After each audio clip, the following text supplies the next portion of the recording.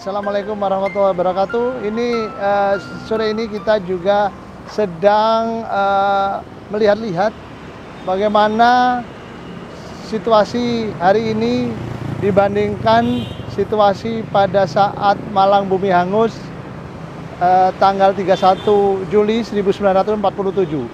Nah, hari ini kita bisa melihat dan menyaksikan ini gedung Balai Kota. Dulu uh, juga Balai Kota uh, Gemeente dalam zaman Hindia Belanda.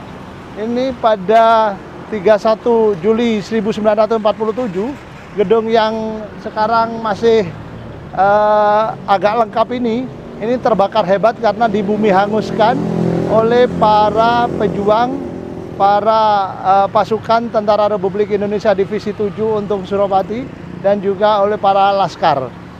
Dan Kemudian uh, para pasukan Tentara Republik Indonesia Divisi 7 untuk Suropati ini kemudian menyingkir keluar kota setelah membumi hanguskan kota Malang. Jadi ada beberapa eh, gedung-gedung uh, pelayanan publik yang dibakar termasuk kantor pos dan telegraf nantinya dan beberapa yang lain. Cuma ada beberapa gedung yang tidak dibakar atau dibumi hangus oleh pasukan TRI atau TNI kita ya yaitu gedung-gedung yang merupakan tempat peribadatan. Nah ini bisa kita lihat saudara-saudara, sekarang tetap balai kota yang di depannya ada uh, Tugu Kota Malang ya, Tugu Bundaran ini. Uh, di sini uh, Bumi Hangus dimulai untuk uh, memulai satu taktik perang gerilya yang dimulai oleh Divisi 7 untuk Suropati yang menyingkir keluar kota Malang. Mungkin seperti itu. Nanti kita akan lihat ke gereja berikutnya.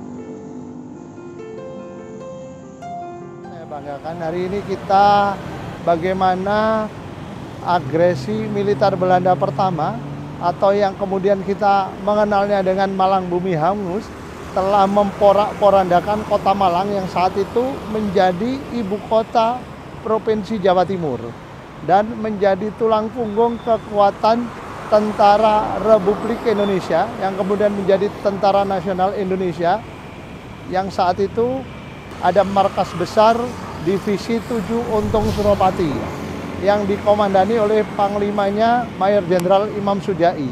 Jadi bagaimana Malang mulai tanggal 21 Juli diserang uh, pada saat itu mulai dari kota Pandaan di utara Malang uh, dekat dengan Pasuruan dan kemudian menyerang sampai ke Lawang, Singosari dan seterusnya. Sedangkan di wilayah-wilayah Tapal Kuda yang namanya pasukan Brigade Marinir Belanda telah melabuh jangkar di pelabuhan Pasir Putih Panarukan. Nah, taktik yang digunakan Belanda ini dengan operasi produk ini kemudian menyasar yang namanya daerah-daerah kekuatan-kekuatan ekonomi Republik atau yang dikenal dengan undernaming undernaming perkebunan perkebunan Belanda pada saat sebelum Jepang jatuh. Nah, kedatangan pasukan marinir Belanda di pantai Panarukan itu, di Pasir Putih tersebut, kemudian sehari kemudian bisa meluluh lantakkan daerah-daerah di Tapal Kuda. Ada di sana uh, kota Panarukan jatuh, di situ Bondo, uh, kemudian Banyuwangi juga jatuh, Bondowoso jatuh, Jember jatuh pada 22 Juli dan kemudian kota Probolinggo maupun Lumajang jatuh pada tanggal 22 Juli 1947. Namun eh, kekuatan Divisi 7 untuk Surapati pada saat itu yang ada di kota Malang masih bisa bertahan uh, untuk mempertahankan kota ibu kota Jawa Timur tersebut. Nah, barikade-barikade misalnya penebangan-penebangan pohon sudah dilakukan mulai dari wilayah uh, Lawang di utara kota Malang. Namun karena peralatan Belanda, peralatan militer Belanda yang didatangkan khusus dari Eropa untuk menyerang Republik Indonesia dan uh, pada saat itu Jenderal Simon Sepur berniat untuk mematikan secara mutlak Republik Indonesia dari muka bumi. Yang salah satunya di Jawa Timur ada uh, yang namanya uh, Tentara Republik Indonesia di wilayah-wilayah Tapal Kuda. Saat itu ada Mayor Jenderal Van der Briun itu berhadapan dengan Mayor Jenderal Imam Sujai untuk merebut Tapal Kuda.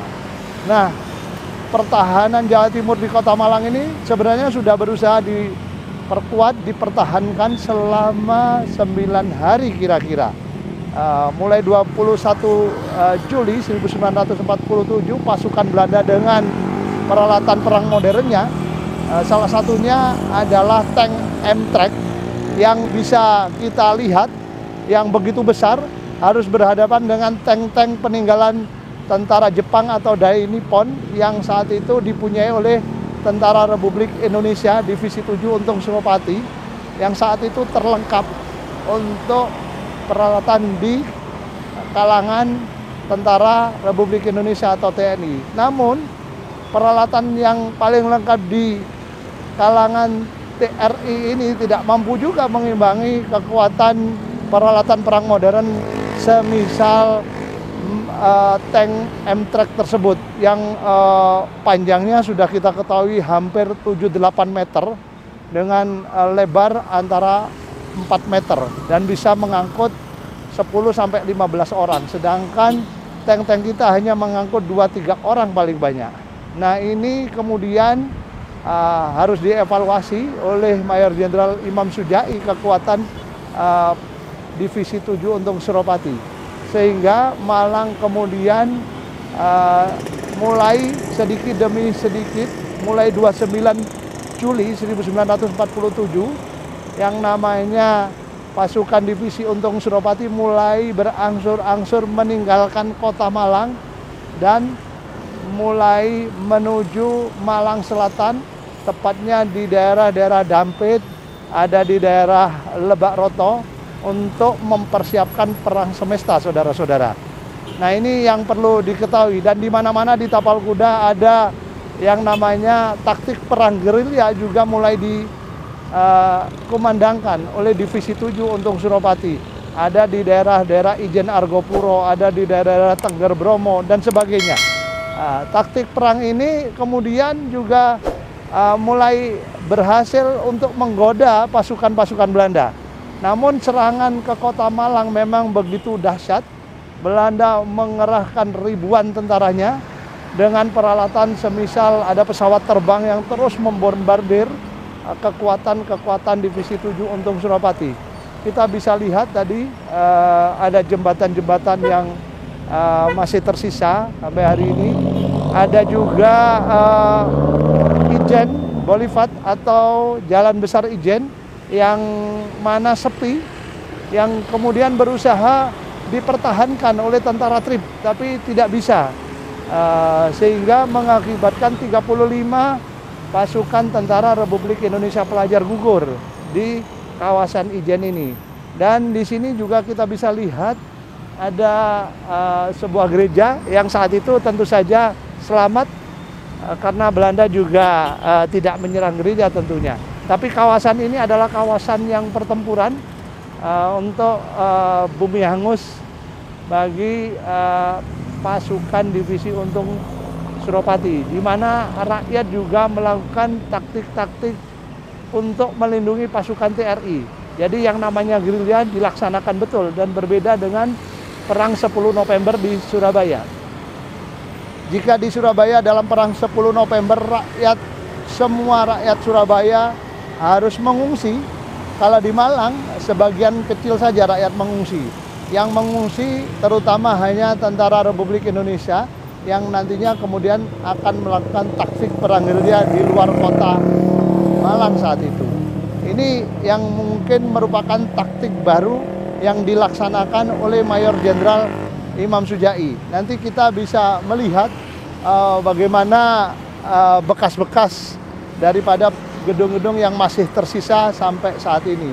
Nah, itu yang bisa kita informasikan bagaimana di kawasan Ijen ini yang saat itu juga merupakan kawasan yang cukup penting bagi uh, kawasan pemerintahan sipil maupun militer Republik Indonesia di Provinsi Jawa Timur pada saat itu. Sehingga apa yang dikatakan kalau di Bandung ada lautan Bandung lautan api, kalau di Surabaya ada perang habis-habisan arek-arek Surabaya, di Malang ada yang namanya Malang Bumi Hangus 1947. Kita berjumpa dalam edisi yang akan datang tentunya.